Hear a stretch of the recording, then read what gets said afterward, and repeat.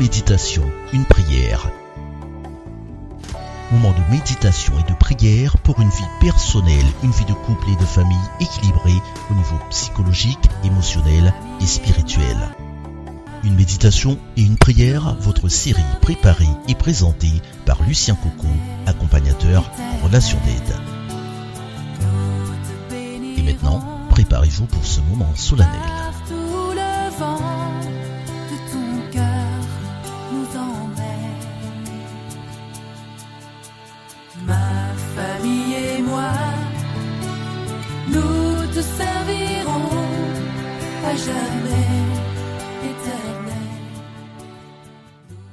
Chers amis, bienvenue à notre moment de méditation et de prière.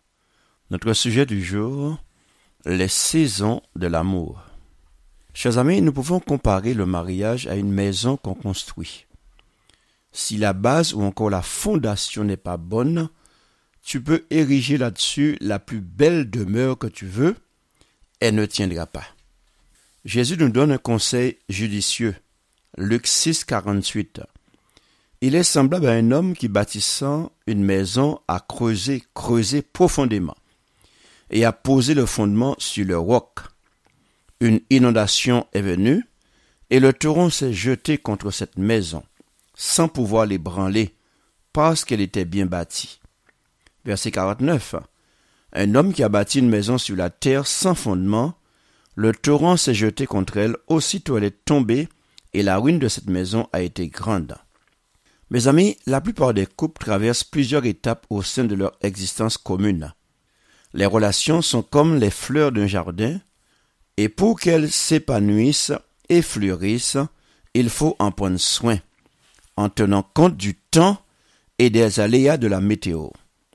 Si la vie est faite de haut et de bas, c'est également le cas du long feuilleton de l'amour. En effet, au cours de son existence, un couple passe par de nombreuses étapes affectives, plus ou moins passionnées, plus ou moins intenses, plus ou moins optimistes. Cependant, toutes permettent à la relation de se renforcer et se construire sur le long terme. Alors maintenant, parlons un peu de ce qu'on appelle les quatre saisons amoureuses, ou encore les saisons de l'amour. Premièrement, il y a ce qu'on appelle la première saison. C'est la passion estivale des débuts, qualifiée aussi de lune de miel ou d'été de l'amour, selon Gary Chapman. Cette phase est celle de la vague passionnelle qui nous submerge dans sa totalité dès l'apparition du sentiment amoureux. L'autre est vu comme l'être parfait. En pleine euphorie, les deux partenaires se développent et s'épanouissent dans le regard émerveillé de l'autre. Affection débordante, regard complice, gestes fusionnels, projets d'avenir, etc. C'est dans cette étape qu'émerge la notion de moitié, où les deux ne forment un tout qu'une fois réunis. Mais tout n'est pas si rose dans le quotidien si idyllique. Aveuglé par cet amour naissant, on a tendance à mettre de côté les traits de caractère potentiellement problématiques pour se forger une image idéale de l'autre, celle de l'amour parfait. Et on entend souvent, mais oui, ça va aller. On va prier et cela ira.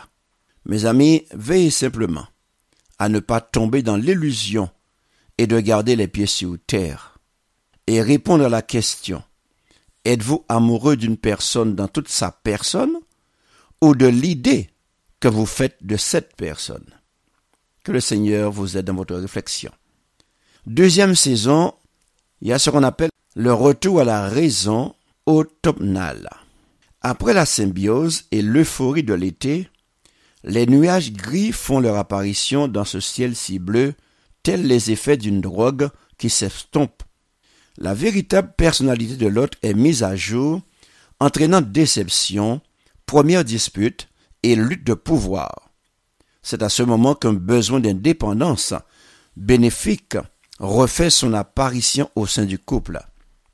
Le je prend le pas sur le nous.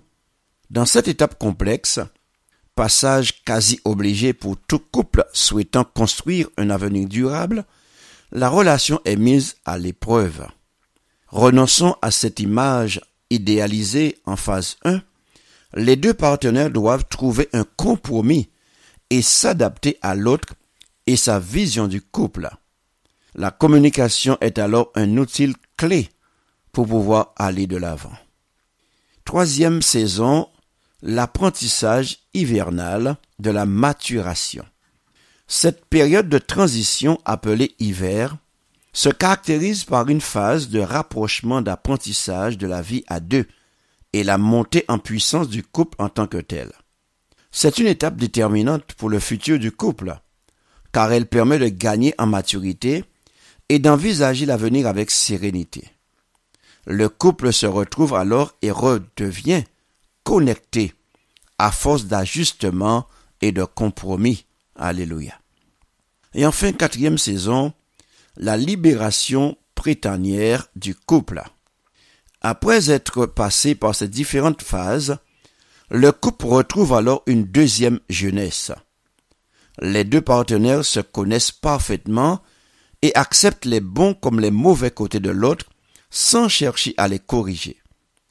La relation est alors un véritable espace de croissance et d'épanouissement où certes les disputes subsistent, mais servent à avancer et à construire ensemble la vie du couple. Le signe d'un amour mature, serein et harmonieux. Dans cette phase, c'est encore une fois la communication qui joue le rôle principal. Les deux partenaires ont décidé d'être heureux plutôt que de vouloir prendre le dessus l'un sur l'autre. Mon ami, toi qui m'écoutes à cet instant, aujourd'hui, dans quelle saison penses-tu que ton couple se trouve? Que le Seigneur t'accompagne dans ta réflexion. Maintenant, préparons-nous pour la prière.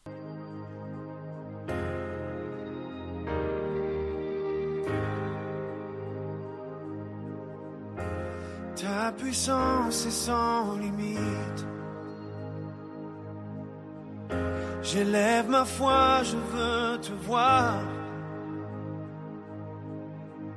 Je désire que tu me visites. Remplis-moi, je t'en prie, remplis-moi. Remplis-moi, je t'en prie, remplis-moi. Je m'humilie dans ta présence. Ta puissance est sans limite. J'élève ma foi, je veux te voir.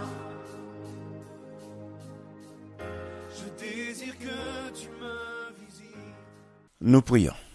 Notre Père, notre Dieu, c'est vraiment un privilège pour nous de nous adresser à toi par la prière, sachant que tu nous écoutes et prêt à nous exaucer dans le nom de Jésus. Merci pour ce privilège que nous voulons saisir fortement, quand nous avons besoin de nous adresser à toi. Tu es notre seule ressource, notre seul abri, et nous savons que tu ne déçois jamais. Veuille nous pardonner nos fautes et nous purifier dans le nom de Jésus. Notre Dieu, notre Père, tu nous enseignes que dans le mariage, il y a des tempêtes ou encore des saisons. Il n'y a pas que le soleil qui brille. Notre Père, ceci n'existe pas parce que c'est ce que tu veux ou que tu en es responsable. Ceci existe depuis l'apparition du péché. Nous savons que la lune de miel passe très vite et qu'on arrive au cœur ou encore à la réalité de ce que cela signifie vraiment la vie à deux. Tu veux nous aider, Père, à comprendre que la question du mariage ne se pose pas le jour où on passe devant le maire, ni lors des fiançailles, ni celui où on se donne le premier baiser, même pas quand on commence à s'intéresser l'un à l'autre. Il se forme bien avant. Cela débute dès que monte dans le cœur la première pensée à l'égard de notre. C'est là que se règle l'aiguillage qui donne la direction du train du mariage vers celui du bonheur ou malheureusement du malheur. Maintenant, cela ne veut pas dire qu'un mariage ayant commencé sur des bonnes bases doit nécessairement bien se terminer. Car nous avons déjà dit que pour que cela se termine bien, il faut mettre tous les ingrédients et aussi le respect des valeurs que tu as mises en place pour cette institution que tu as toi-même créée, ton Père. Cependant, cela montre simplement qu'une relation correctement édifiée a plus de probabilité de se pérenniser dans le temps avec ta grâce est basée sur l'amour vrai. Notre Père, pour passer victorieusement chacune de ces étapes, il faut savoir que le changement au sein du mariage est inévitable et qu'il faut s'adapter à tout instant. Si nous n'avons pas compris cela, nous risquons de vivre des moments dramatiques qui troubleront la quiétude du foyer. Seigneur Dieu, nous avons besoin de ton Esprit Saint pour nous aider à nous adapter aux différentes situations qui se présentent à nous au sein du couple, dans la famille, afin de rester toujours à la hauteur et de te plaire. Oui, de faire en sorte que le mariage sorte grandi, que les conjoints continuent de vivre heureux, de s'épanouir dans l'amour et de s'aimer. Notre Dieu, qualifie-nous, afin que nous soyons à la hauteur de cette tâche que tu nous as confiée au cœur de ce conflit cosmique, qui est de défendre et montrer tes valeurs et vivre la victoire de l'amour. Alléluia. Notre Père, accepte et exauce notre prière. Nous t'avons prié dans le nom de Jésus et pour ta gloire éternelle. Amen. Amen. Chers amis, je vous laisse avec ce chant tiré des cantiques des cantiques. J'entends la voix de mon bien-aimé et je viens à lui. Que Dieu vous garde et vous bénisse et à bientôt.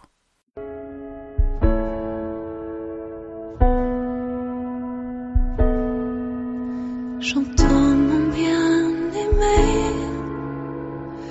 son cœur m'appelle, mon âme est toute prête à ses merveilles. Le voici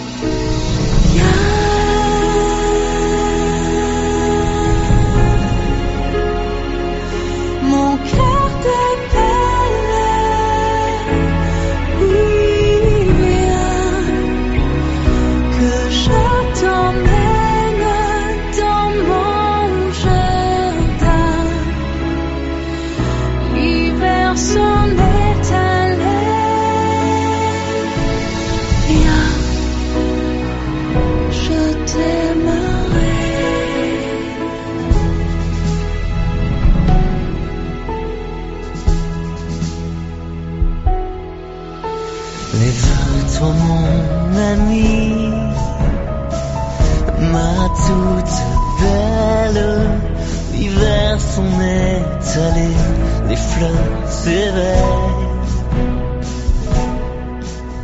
Viens le temps des chansons et des je t'aime. Entends ce chant d'amour pour toi s'élève.